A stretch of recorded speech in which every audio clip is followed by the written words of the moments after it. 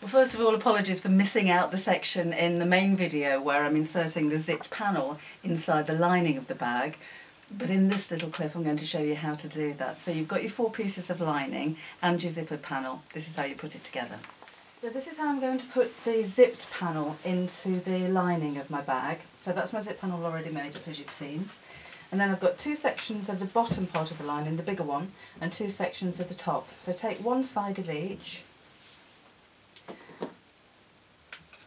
and my zip panel.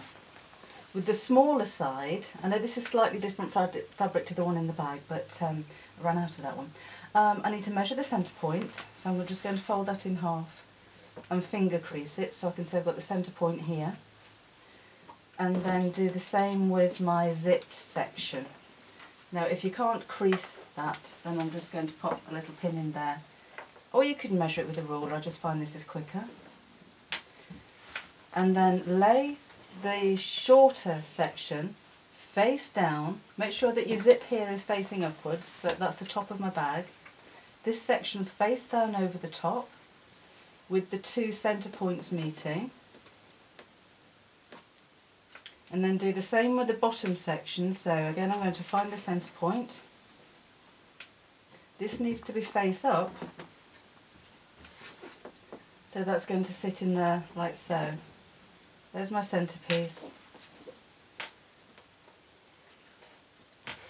And those are all sewn together.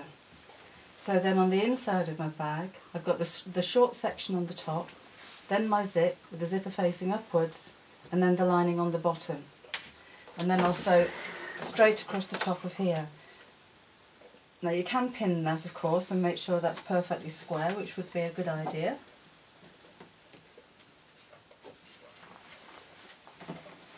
Just to hold all of that in place like that.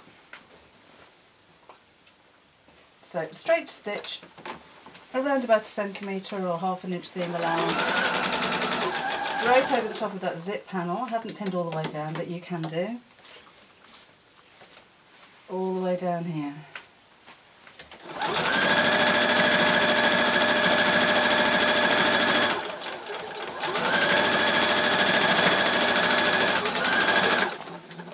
went a little awry, but get the idea.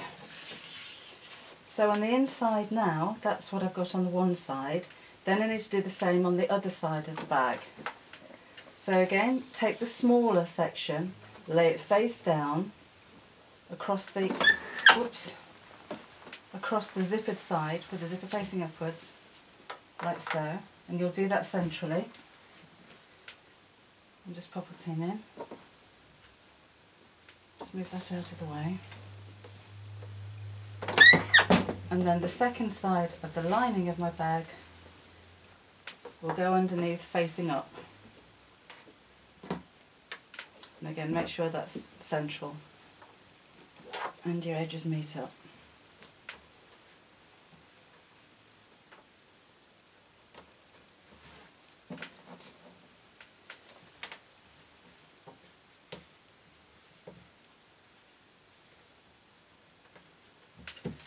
So. And then sew all the way down that side. Pop the iron on, because you're going to press this in just a second.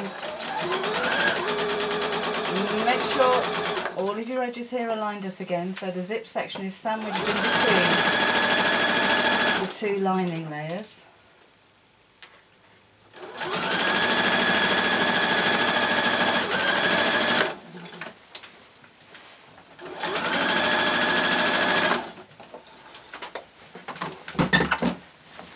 So that's what it looks like.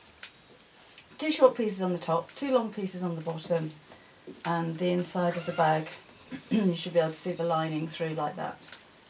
Then you can go back to the main video and I'll show you how to put this together with the outside of the bag.